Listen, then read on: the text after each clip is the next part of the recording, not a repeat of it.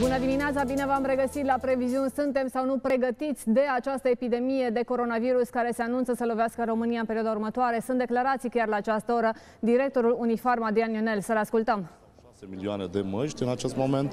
Este vorba de 25 de tone de dezinfectant și alte materiale specifice pentru acest uh, uh, tip de virus. Am informații că există probleme serioase pe secțiile de spitale în ceea ce privește aceste măști. Medicii au rămas fără ele deja. Ce pot face în această situație? Pot suna la Unifarm? Mai există ceva în stocurile de la Unifarm? Pe cine ar trebui să contacteze? Nu pot să vă confirm în acest moment ceea ce îmi spuneți dumneavoastră, dar pot să vă spun că începând cu a doua parte a săptămânii viitoare pot suna la Unifarm pentru aceste lucruri. Uh, știu că la ONAC au fost depuse două oferte pentru aceste lucruri și la, de asemenea pot obține din stocul situațiilor de urgență aceste măști și cred că nu e cazul să ne panicăm cu privire la acest aspect.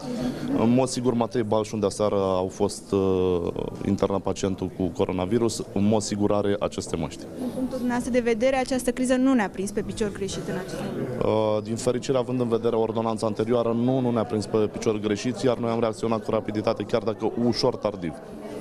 Pe parte de stocuri, ce ne puteți spune? Cum, cum stocuri de?